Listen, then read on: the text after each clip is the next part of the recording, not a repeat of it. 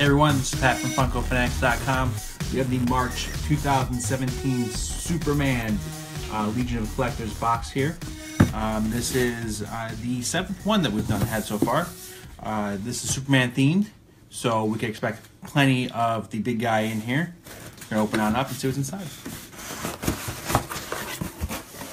All right, cool. First thing is patch and pin. So, both sporting Superman. Not so much of a surprise. Pin's pretty cool. There you go. It's Superman classic pose. Says Legion of Collectors on it. Patch is pretty cool itself. Tim flying. Again, Superman says Legion of Collectors right on it. All right. Inside the box, we have a t-shirt. All right, let me get this first. So it's a blue t-shirt. Um, doesn't look like it has any different variations on it. I can already see it has a pop on the t-shirt. Here we go. Pretty neat. Just has Superman on it, right? Superman flying. On a blue t-shirt. It's a really nice one, actually. I like the color to it. Says Man of Steel from Krypton to save our world. Good t-shirt. All right, let's see what else we have in here. We have a pop keychain, a pocket pop. This is the flying pose from the Batman vs Superman series. Although it looks like it has more of a classic Superman head on it, not the Henry Cavill one. There we go. He's twisting around a lot. There you go. Cool. That one will just hang right here. Nice. All right. Also in here is the newer style action figure of Superman. This is the same style action figure they've done for the Suicide Squad box, where we got the two in there. There are also have the Suicide Squad figures that are out now, and the 66 Batman figures that are coming out. The card is really cool because it has comic print here on the back. Does have a bunch of warnings, but not, no uh, preview or anything like that. Uh, it is based off the first appearance from Action Comics.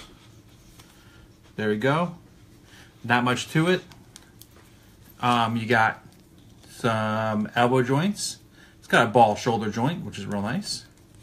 Um, got a regular hip joint and a knee joint with it. Nice little action figure. Go.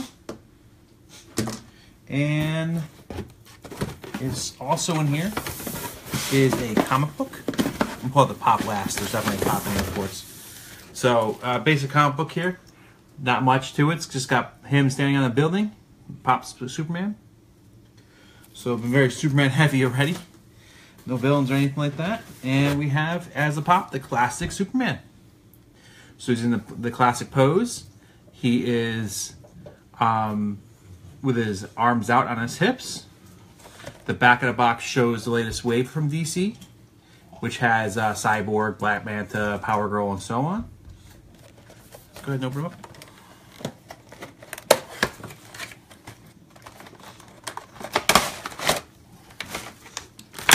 Okay. So pretty cool. So again, it's classic pose with his arms out to his hips. Cool wavy uh, cape here. Does have the Superman logo on the back of the cape. Classic. Got the like the little curly Q. So this is a good Superman pop. This is probably the best Superman pop that uh, I've liked so far. It's pretty much up there with the uh, again the Batman for Superman flying one. That's a really cool pose too. But this is great. I like the wavy cape to it. And that is it out of the box. Um, revealed for next month is Wonder Woman. Um, clearly based off the upcoming movie and a couple things on the back. Just kind of the making of and, and why they decided what to go with.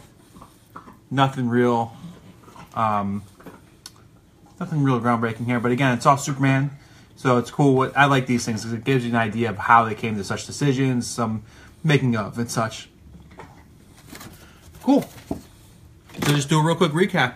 We got the classic pose of Superman pop.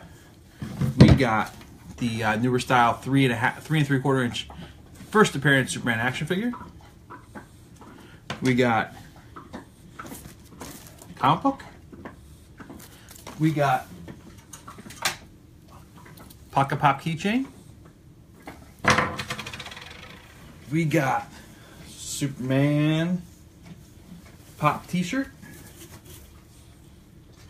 And last but not least, patch and pin.